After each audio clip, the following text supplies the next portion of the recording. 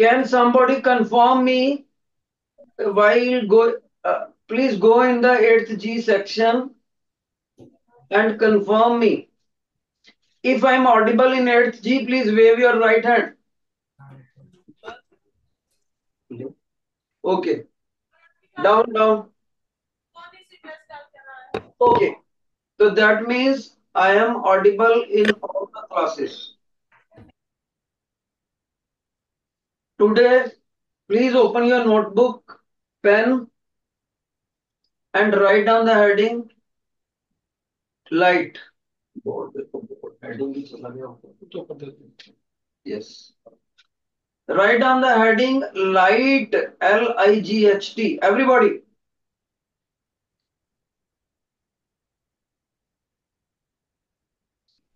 Look here, bete. It is written in front of you light. Who is taking your lecture? Faculty का नाम क्या बेटे my name is Dheeraj Vashishth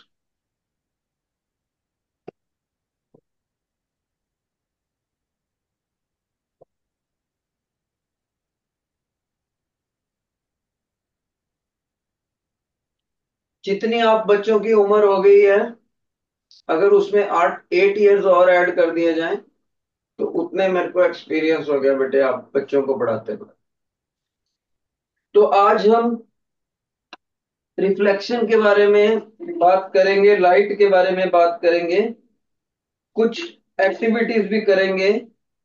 ये देखो मेरे पास कौन बच्चा बताएगा what is in my hand please speak loudly if you know the proper name is plane mirror बिल्कुल समतल है, बिल्कुल समतल। ना कहीं से बाहर है, ना अंदर। प्लेन मिरर अदरवाइज़ कुछ ऐसे मिरर भी होते हैं जो अंदर को मुड़े होते हैं। कर्व्ड मिरर्स भी होते हैं। ओके ये मेरे पास क्या है? देखें कौन बच्चा बताता है। व्हाट इज़ दिस नहीं बता पा रहे हैं। आप बता रहे हो? ये है आपका प्रोफेशनल लेजर बीम यहाँ से देखो ऑफ़ कर दिया मैंने, अभी ऑन कर दिया इसमें। रेड कलर का लेजर बीम है ये। इससे हम एक्सपेरिमेंट करेंगे। और ये व्हाइट शीट को हम स्क्रीन के रूप में यूज़ करते हैं। देखो लेजर बीम का स्पॉट घूम रहा है व्हाइट स्क्रीन के ऊपर। तो कुछ एक्सपेरिमेंट्स करेंगे। और ये मैं आपको अपना ऑपरेटस दिखा रहा हूँ ताकि आपका कुछ इंटरेस्ट जनरेट हो लेक्चर में। ये मेरे पास एक ह्यूमन टॉय है ह्यूमन बॉडी टॉय इसके साथ भी कुछ ना कुछ हम एक्टिविटीज़ करेंगे पढ़ते पढ़ते शाबाश। सो लेट्स स्टार्ट बेटे, सबसे पहले हमें बेसिक करना पड़ेगा। Everybody please write down the heading along with today's date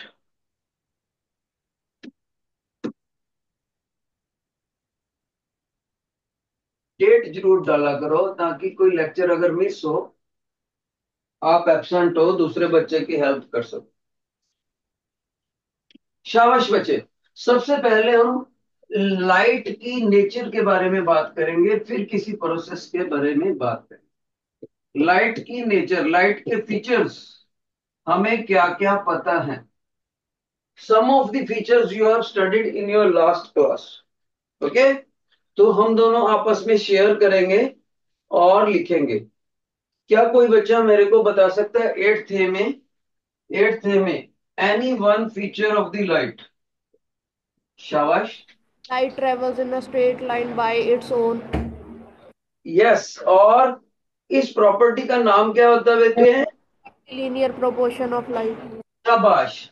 The student is very correct rectilinear propagation everybody please write down rectilinear propagation propagation means advancement आगे बढ़ना इसका मीनिंग क्या है इसका मीनिंग है सोर्स ऑफ़ लाइट से light हमेशा straight line में जाती है अपने आप नहीं मुड़ती अगर बीच में कोई मिरर आ जाए कुछ और आ जाए चीज़ तो मुड़ सकती है लेकिन खुद से ऐसे कभी कर्व नहीं करेगी। Light always travels in straight line always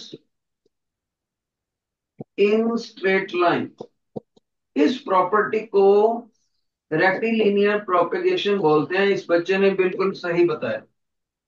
अब सेवंथ बी में से कोई बच्चा ऐसा है जो मेरे को कोई लाइट का फीचर बता सके? सेवंथ बी में there are two students Dhanveer and Preet दोनों में से कोई भी आ जाए माइक पर, या दोनों आ जाओ। Eighth B Dhanveer and Preet शाबाश बेटे। I just want to ask any other feature of the light number two Light always travel in straight. बेटे ये तो बता दिया उस बच्चे ने ना light travels in straight line other than this Light cannot be bent. Light can not be वो तो इसी बात को घुमा के बोल दिया आपने। लाइट स्ट्रेट लाइन में है तो बेंड अपने आप बेंड नहीं होती है तो एक ही बात होगी। अदर देन दिस बेटे। लाइट travel वेरी फास्टर शाबाश। ये आप मान सकते हो। So in vacuum vacuum means air air के बिना एयर भी नहीं होना चाहिए। इन वैक्यूम बिल्कुल खाली जगह और एयर वैक्यूम के लेटेस्ट स्पेलिंग में दोनों डबल कर दिए इन्होंने। सी और इन वैक्यूम और air light velocity, everybody write down light velocity is very large it is 3 into 10 raised to power 8 meter per second. 8 meter per second. शाबाश एट्थ सी में एट्थ सी में दो बच्चे हैं Gary and Jaskaran please come on the mic eighth C Gary and Jaskaran eighth C और eighth C इन दो बच्चों की हेल्प करेगी any other feature of the light apart from these two इसके बिना लाइट के कोई और फीचर आपको पता हो शाबाश light help us to see. Pardon Light help us to see. Mic is not properly working बेटे आपका माइक फेस के पास करो बिल्कुल माउथ के पास. नहीं नहीं आपकी क्लास का माइक नहीं ठीक है। बैठो बैठो दोनों बच्चे बैठ जाओ। प्लीज़ गेट इट रेक्टिफाइड आप ये कह सकते हो बेटे थर्ड करेक्टर में white light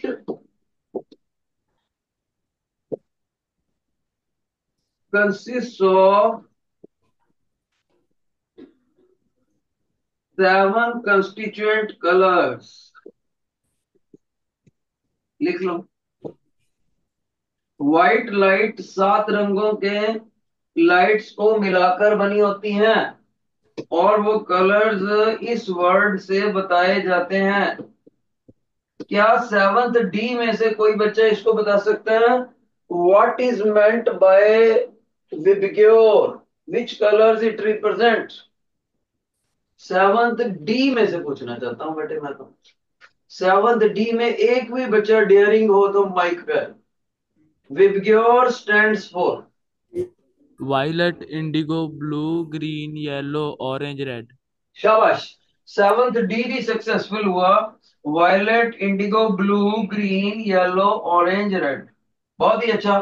very good seventh ए भी कामयाब हुआ बी भी कामयाब हुआ सी का माइक खराब था और डी भी कामयाब हुआ। शाबाश। लेट्स प्रोसीड फर्दर कोई ऐसा बच्चा है सेवंथ ई में से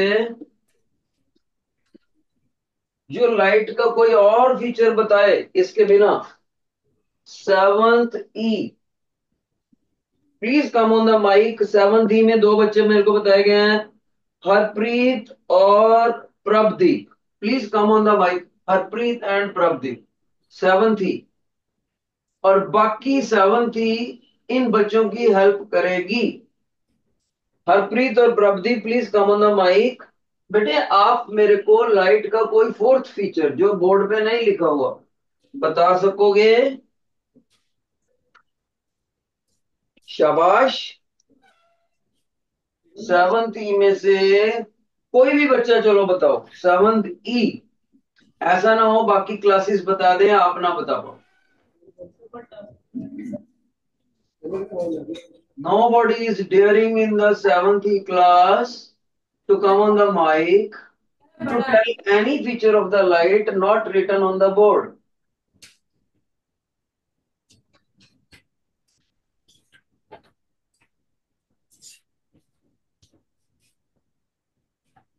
नहीं बता पा रहे। चलो मैं बताता हूँ। शाबाश। बेटे एक बात याद रखना। ग्रीन और येलो दोनों के बीच का जो कलर होता है, जिसको आप हाइलाइटर वाला कलर भी बोलते हो, जिसको आप नियोन कलर भी बोल देते हो, जिसको येलोइश ग्रीन बोला जा सकता है या ग्रीनिश येलो फ्लोरिसेंट वो वाला कलर इंसान की आँख के ऊपर मोस्ट सेंसिटिव होता है। यानी इस कलर की किसी ने कपड़े डाले हो और हम ना भी देखना चाहें तो भी वो ज़बरदस्ती हमारी आँख में दिखते रहते हैं, क्योंकि इस कलर से हमारे रेटिना के ऊपर मैक्सिमम इन्फ्लुएंस आता है आँख के रेटिना को। लिख दो। The human eye is most sensitive most sensitive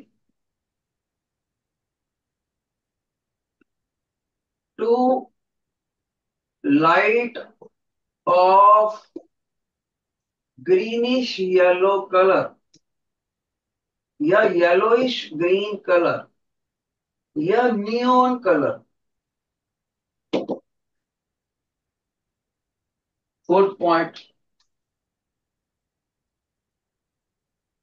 शाबाश सेवंथ सॉरी एट्थ एफ़ में से कोई ऐसा बच्चा है एट्थ एफ़ में, जो लाइट के लिखे हुए फीचर्स के बिना कोई अलग से फीचर बता सके।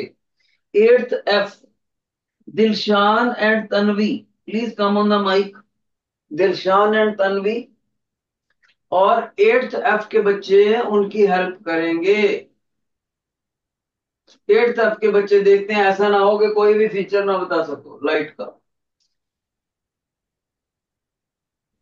Light do not need medium to travel correct बहुत ही अच्छे शाबाश। बैठो बैठो। देखो बेटे लाइट जो है पानी में से भी निकल जाएगी कांच में से भी निकल जाएगी प्लास्टिक ट्रांसपेरेंट हो निकल जाएगी राइट और कुछ भी ना हो मीडियम हो ही ना ट्रांसपेरेंट मीडियम ना तो भी निकल जाएगी। तो लाइट इस बच्चे ने बताया, चाहे ट्रांसपेरेंट मीडियम हो या मीडियम हो ही ना कोई भी वैक्यूम हो, दोनों में से पास ऑन कर सकती है। लिखो सभी बच्चे। शाबाश fifth feature light can travel through any transparent medium. Transparent medium में एफिशिएंटली निकलती है और एक ट्रांसलूसेंट होती है, ट्रांसलूसेंट। उसमें थोड़ा कम एफिशिएंसी से निकलती है। और कैन पास थ्रू वैक्यूम। इसी पॉइंट को इस बच्चे ने ऐसे बताया था, light do not need any medium to travel. जबकि साउंड के अंदर ऐसा नहीं होता। साउंड हमेशा मीडियम चाहती है।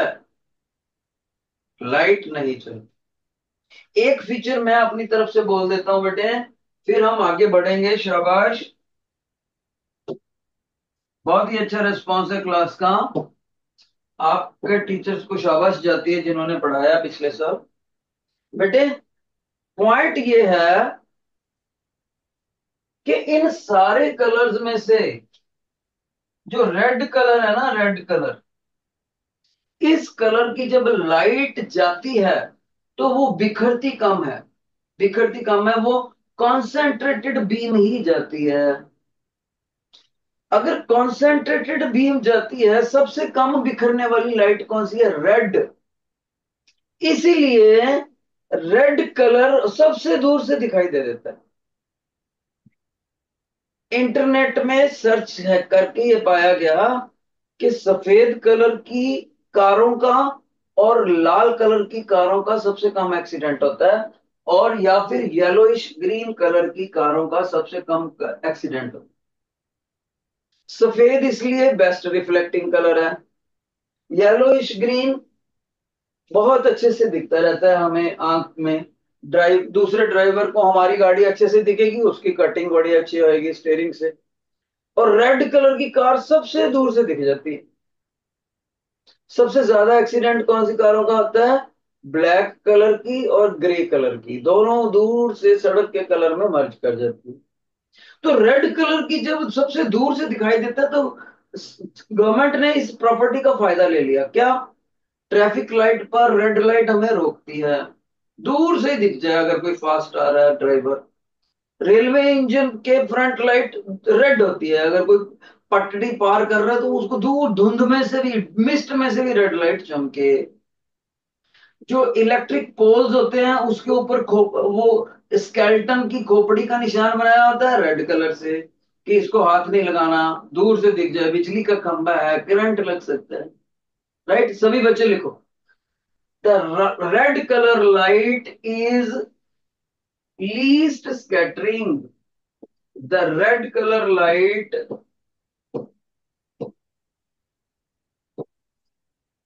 is least least मैंने सबसे कम। स्कैटरिंग मैंने बिखराव स्कैटरिंग ठीक है? ये हमने लाइट के कुछ फीचर्स पढ़े बेटे। ये मैंने कुछ ऐसे फीचर्स बताए जो आपकी पुरानी नॉलेज से लिंक होते हैं, जो आप पढ़ के अगर आपको इनमें से एक भी पॉइंट नया पता लगा है तो पिछली क्लास की थोड़ी बहुत कमी रह गई है। ठीक है बेटे? आज हम फिर आगे बढ़ते हैं। शाबाश। नया आर्टिकल लिखेंगे सभी बच्चे। रिफ्लेक्शन शाबाश। एवरीबॉडी रिफ्लेक्शन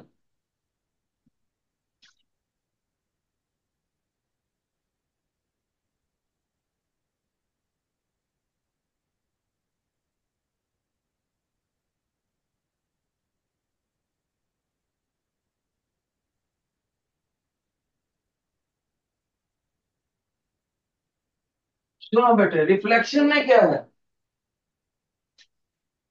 बहुत से बच्चे सोचते हैं कि अगर कोई यहाँ सरफेस हो तो लाइट का पैरेलल बीम ऑफ़ लाइट आएगा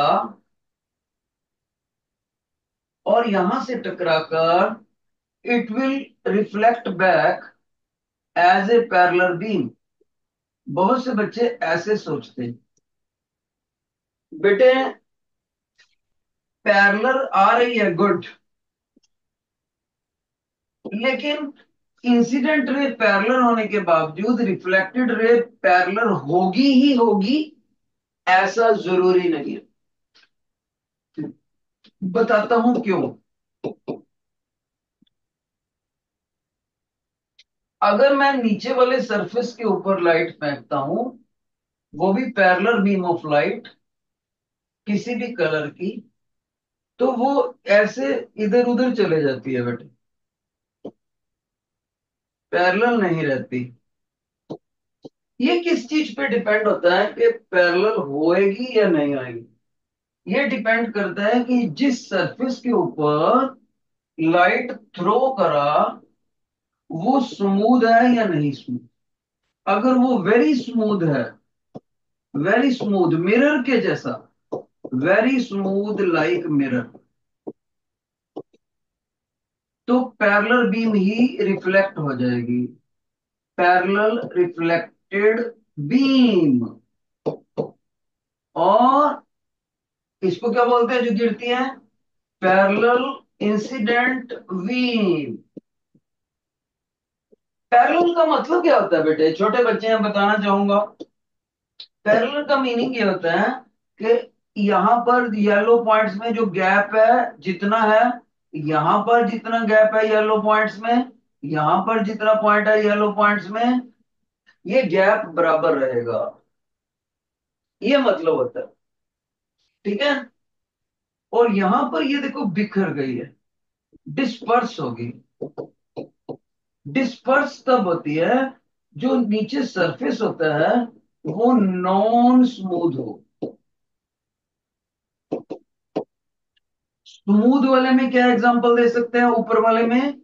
प्लेन मिरर नॉन स्मूथ वाले में क्या एग्जांपल दे सकते हैं? न्यूज़पेपर ठीक है? तो सभी बच्चे याद रखना रिफ्लेक्शन प्रोसेस की टू टाइप्स होती हैं। एक ऐसे वाली और एक ऐसे।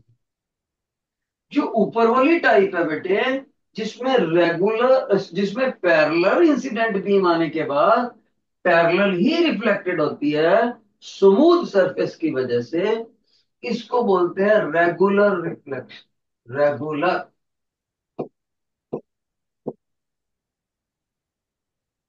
और जिसमें ऐसे बिखराव हो जाता है, जबकि आने वाली लाइट तो पैरेलल ही थी पैरेलल इंसिडेंट लाइट। लेकिन टकराने के बाद वो इधर उधर बिखर गई क्योंकि सरफेस स्मूथ नहीं था। ऐसे वाली रिफ्लेक्शन का दूसरा नाम होता है दूसरी टाइप का नाम होता है डिफ्यूज्ड रिफ्लेक्शन डिफ्यूज्ड रिफ्लेक्शन सभी बच्चे लिख लो। diffused reflection. In case somebody asks you, what do you mean by regular reflection? Your answer should be when parallel incident beam falls on very smooth surface like plane mirror, it gets reflected as the parallel beam. This is called regular reflection. But when parallel beam of light falls on the non-smooth surface like the page of the book, then it gets scattered in different directions. It does not come out as parallel beam in the form of reflected beam. बल्कि कई raise में इधर उधर but जाएगी right शाबाश अब याद रखना बच्चे इनकी प्रैक्टिकल लाइफ में यूटिलिटी क्या है दोनों की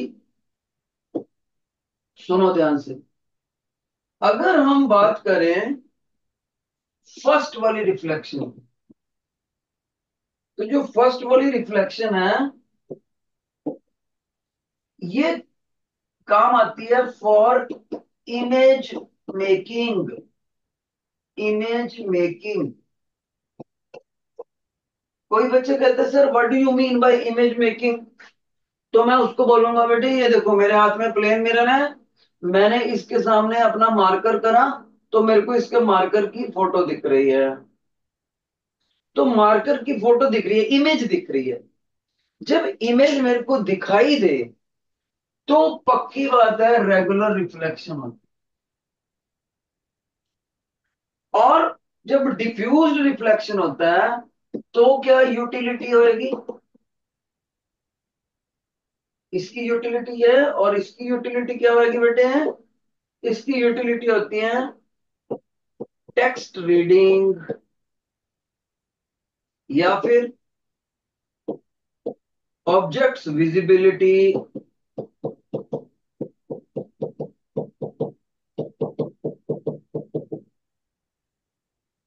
यानी कि हमें किसी न्यूज़पेपर पे बुक पे लिखा हुआ टेक्स्ट पढ़ना है तो ये काम आएगी। ये टेबल ये चेयर मेरे को दिख रहे हैं, बड़े हुए हैं। क्यों दिख रहे हैं? इसकी वजह से दिख रहे हैं डिफ्यूज वाले की वजह से। डिफ्यूज वाले के अंदर याद रखना, देखने वाले की आँख में थोड़ी बहुत लाइट जाती है। रेगुलर वाले में ऑब्जर्वर की आँख में बहुत ज़्यादा लाइट जाती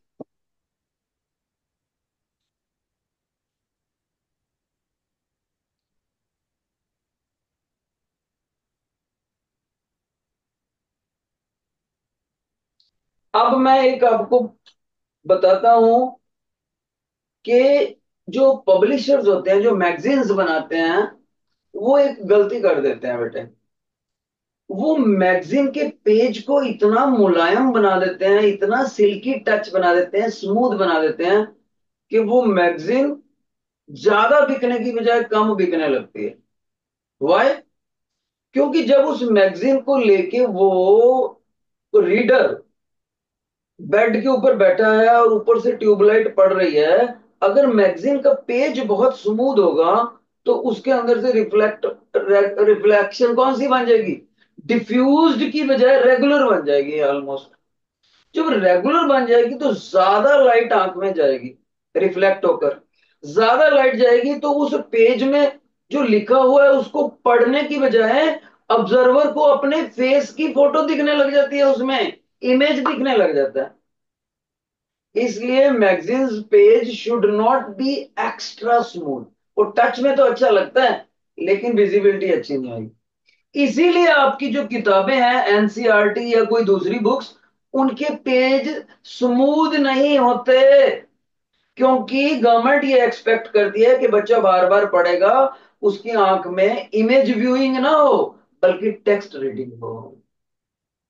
करेक्ट कम मात्रा में लाइट जानी चाहिए। वो कब पॉसिबल है? डिफ्यूज में।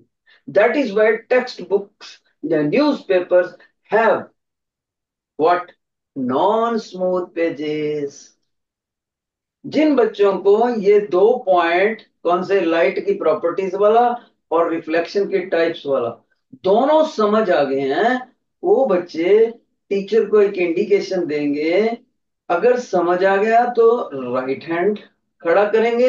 नहीं समझ आया तो लेफ़्ट हैंड खड़ा शाबाश डोंट शाई एट ऑल समझ आ गया तो राइट हैंड नहीं समझ आया तो लेफ़्ट हैंड डोंट शाई ऐसा ना हो कि एक भी हाथ ना खड़ा तो मैं चेक कर रहा हूँ, मेरे को कोई लेफ़्ट नहीं दिख रहा राइट है। शाबाश वेरी गुड वेरी गुड तो कुदरत ने आप लोगों को बहुत अच्छा ब्रेन दिया है। एक ही बार एक्सप्लेन करा टीचर ने, पर सारे प्यारे प्यारे छोटे छोटे बच्चे कैच कर गए। That's so nice let's move to the next article right down शाबाश राइट डाउन अगला आर्टिकल है बेटे हमारे पास. Laws of reflection.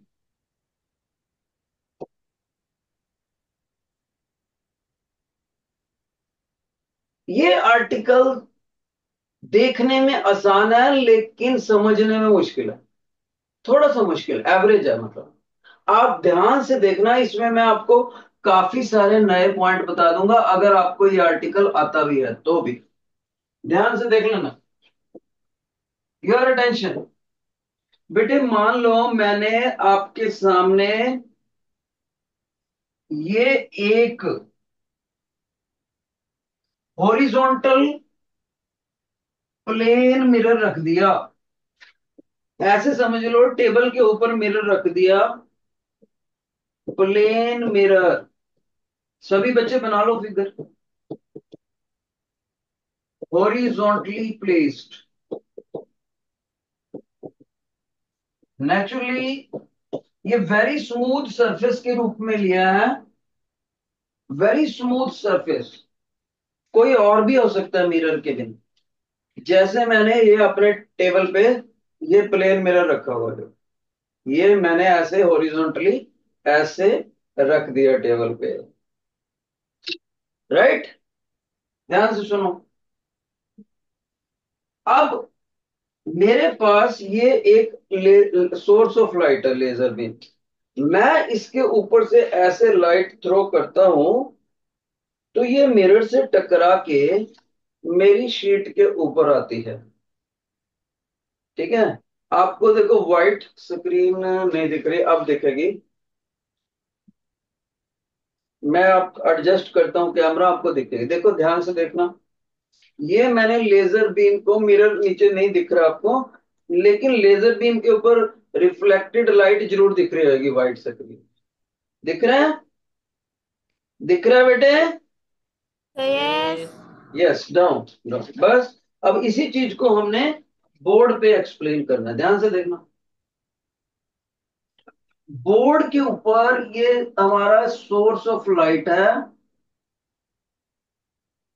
और इस सोर्स ऑफ़ लाइट से ये रेक्टिलिनियर प्रोपेगेशन को फॉलो करती हुई इंसिडेंट रे है। इसको आई आर से लिखते हैं।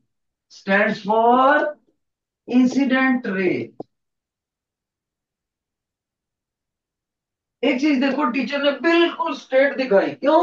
Rectilinear propagation of light okay rectilinear propagation of light की वजह से टीचर ने इसको स्ट्रेट लाइन दिखाया।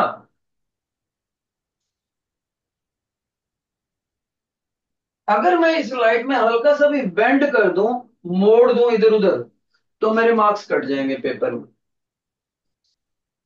शाबाश, कोई बच्चा बताएगा लाइट जहाँ पर गिरती है, उस पॉइंट को क्या बोलते हैं? एनीबॉडी कोई नहीं बताया? Point of incidence point of incidence यहाँ से पॉइंट ऑफ़ इंसिडेंस के ऊपर मैंने एक डॉटेड लाइन लगाया और ये डॉटेड लाइन प्लेन सरफेस के ऊपर 90 डिग्री का एंगल बनाता है। इस डॉटेड लाइन का क्या नाम होता है? एनीबॉडी नॉर्मल इसके दो नाम होते हैं। परपेंडिकुलर भी बोल सकते हैं नॉर्मल भी बोल सकते हैं। शाबाश।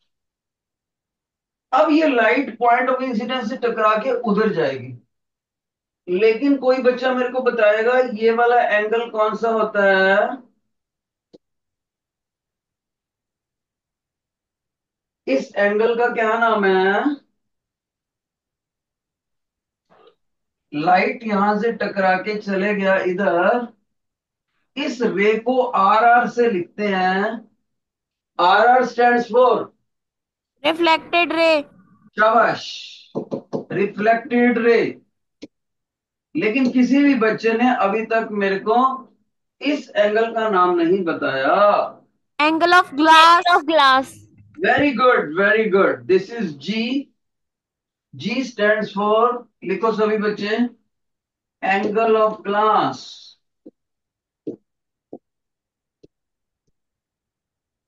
और इस एंगल को क्या बोलेंगे? जिसको टीचर ने व्हाइट कलर से मेंशन करा। Angle of incidence. Very good angle of incidence सभी बच्चे लिखते जाओ बेटे बहुत सारे चीज़ आनी है। एंगल ऑफ़ इंसिडेंस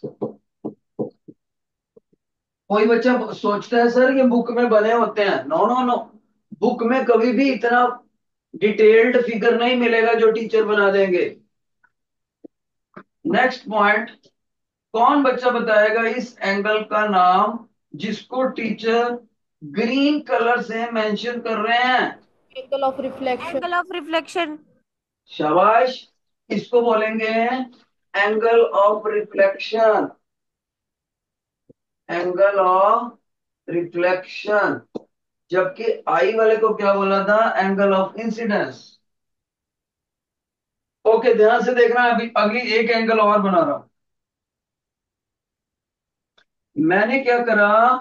जिस तरफ़ से इंसिडेंट रे आ रही थी रेक्टिलिनियर प्रोपेगेशन को फॉलो करते हुए, मैंने उसी तरफ़ एक डॉटेड लाइन एक्सटेंड कर दी है।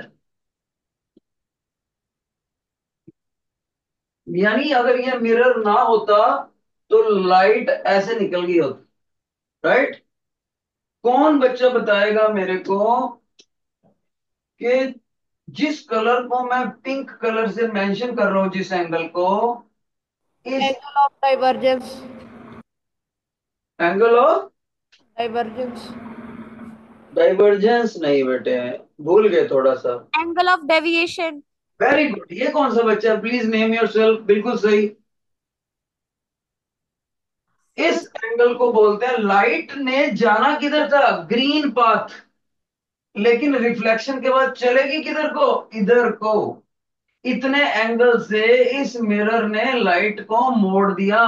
डेल्टा सिंबल से लिखते हैं इसको डेल्टा ये मैथ के आठ जैसा होता है. ऊपर से ऑफ़ ऑन तो डेल्टा को क्या बोलते हैं? एक बच्चे ने बिल्कुल सक्सेसफुली बताया. Angle of deviation. लिख लो सभी बच्चे।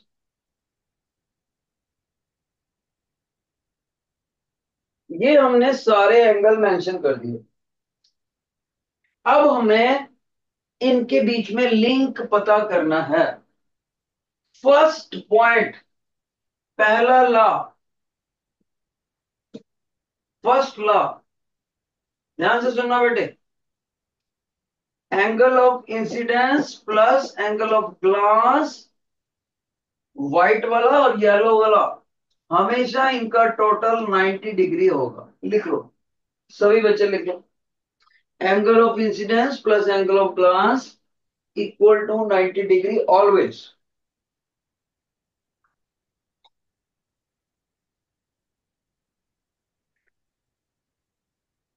let's move to the second law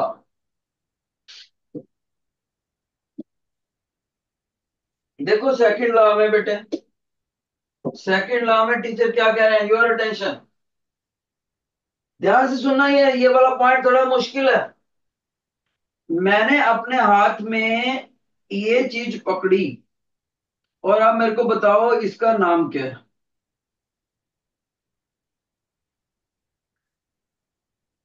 इस चीज़ को आप प्रैक्टिकल लाइफ में किस नाम से जानते हो? बोलो क्या है? ब्लेड ब्लेड है बिल्कुल। ब्लेड है रेजर है। अब ध्यान से सुनना मेरा मतलब। मान लो बेटे ध्यान से सुनना। ये इंसिडेंट रे है। ये ऐसे गिर रही है इंसिडेंट ठीक है? और मेरा हाथ ब्लेड है। ये ब्लेड ऐसे ऐसे जाता जाता इंसिडेंट राइट लाइन को बिल्कुल इसके लेंथ के अलोंग काट रहा है। ऐसे। इसका मतलब क्या हो गया? Incident ray lies in the plane of the hand याद रहे, ऐसे नहीं कट करना, ऐसे क्रॉस नहीं होना चाहिए। पूरी लेंथ वाइज काट के जाए। कोई बच्चा कह रहा नहीं समझ आ रहा। जैसे मेरे हाथ में एक मूली पकड़ी हो और मेरे हाथ में ये एक चाकू हो तो चाकू मूली को लेंथ वाइज काट के जाएगा ऐसे, ना कि ऐसे। Okay length wise in the same manner अगर मैं इस ब्लेड को ऐसे लेके जाऊँ तो इंसिडेंट रे को लेंथ वाइज काट के निकलता है और ब्लेड को कंटिन्यू रखूँ उसी उ, उसी मोशन में तो वो नॉर्मल को भी लेंथ वाइज काट देगा। उसी मोशन में कंटिन्यूड रखूँ तो रिफ्लेक्टेड रे को भी लेंथ वाइज काटेगा। इसका मतलब ब्लेड के प्लेन के अंदर अंदर तीनों लाइक करते हैं। ना ब्लेड के प्लेन से बाहर आ रहा कोई, ना पीछे जा रहा। बिल्कुल ब्लेड के प्लेन में। कौन तीनों? इंसिडेंट रे नॉर्मल रिफ्लेक्टेड लिखो।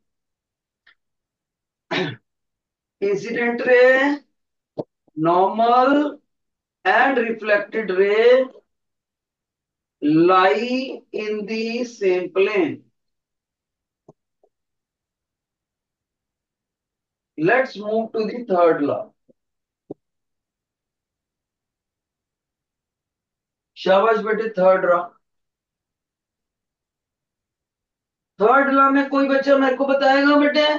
मेरे को एट्थ जी में दो बच्चे हैं। हरजोत करके लिखा हुआ है शायद। हरजोत और Srishti. Please come on the mic Harjot and Srishti. बेटे, आप बता सकते हो एंगल ऑफ़ इंसिडेंस और एंगल ऑफ़ रिफ्लेक्शन में से कौन सा बड़ा होता है कौन सा छोटा? इन दोनों में से कौन सा बड़ा कौन सा छोटा? सेम होते हैं। मैंने ये क्वेश्चन पूछा है हरजोत और सृष्टि एट्थ जी से। Are you on the mic equal equal very confident answer तो टीचर ने ऑप्शन ही नहीं दिया था इक्वल फिर भी बच्चा कितना समझदार है। उसने बोला सर ये बराबर होते हैं। यही थर्ड लॉ है। लिख लो। Angle of incidence is equal to angle of reflection always angle of incidence is equal to angle of reflection always अब मेरे पास लास्ट लॉ है शाबाश फोर्थ लॉ कौन बच्चा मेरे को बताएगा योर अटेंशन के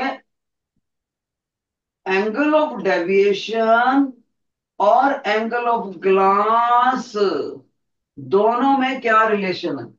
ओपन क्वेश्चन देखते हैं जो बेस्ट बच्चा होगा सारी क्लासों में वो बता पाएगा। Angle of angle of deviation is the ha- uh, is the double of angle कौन सा बच्चा बोल रहा है? क्या नाम है बेटे? Gurkirat Singh. Gurkirat Singh. Gurkirat Singh from which class Eighth. Eighth A में गुरकीरत सिंह बच्चा मेरी तरफ़ से बेस्ट है फॉर एट्थ क्लैप होना चाहिए बच्चे का शाबाश सारी बच्चे clap try to appreciate the performer तो angle of deviation angle of glass का हमेशा ही डबल होता है अगर एंगल ऑफ़ ग्लास 30 डिग्री का है तो angle of deviation 30 into two sixty degree का होगा। ये चार लाज होते हैं। नोट कर लो शाबाश, सभी बच्चे सभी बच्चे, ये चार लाज होते हैं किसके? लाज ऑफ़ रिफ्लेक्शन बहुत से बच्चों को सिर्फ़ दो ला ही पता होते हैं which is not proper complete knowledge होनी चाहिए अगर हमने कोई शुरू कर ही ली चीज़। ठीक है? शाबाश।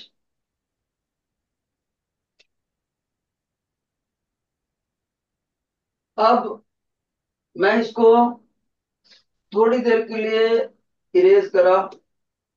अब अपने आप को चेक करो, क्या आपको अभी भी दिखता है मेंटली टीचर ने बोर्ड पर क्या यहाँ पर क्या बनाया था?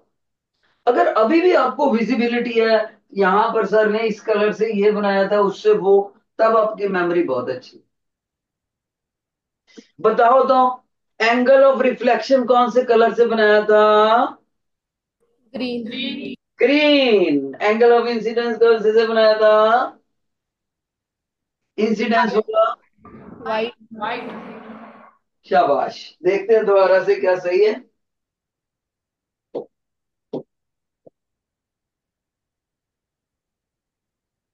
देखो। शाबाश, बहुत अच्छी मेमोरी इससे पहले हमने ये पढ़ा सॉरी ये वाला टाइप लाइट की नेचर सारी बातें याद है? उसके बाद ये पढ़ा टाइप्स ऑफ़ रिफ्लेक्शन और उनकी यूटिलिटी ये भी समझ आया बेटे आपको? हम्म? अब हमने एक लास्ट की चीज़ आज पढ़नी है। उसका नाम है heading everybody features of reflection and image in the plane mirror features of image and reflection in the plane mirror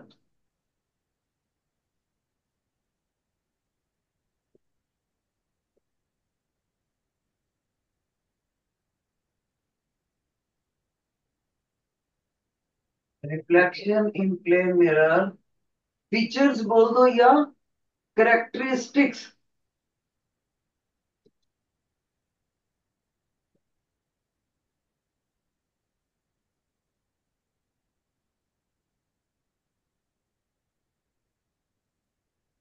देखो बेटे टीचर ने ये एक प्लेन मिरर बनाया।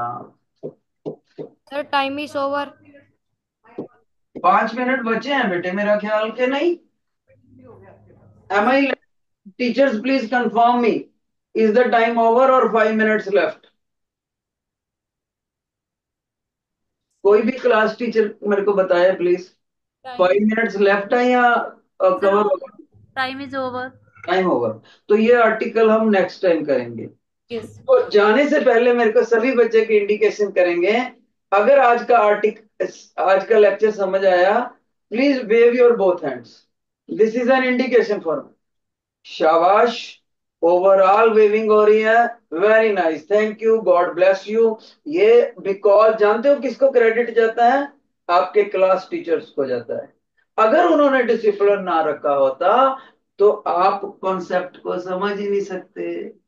All credit goes to the cooperating teachers thank you sir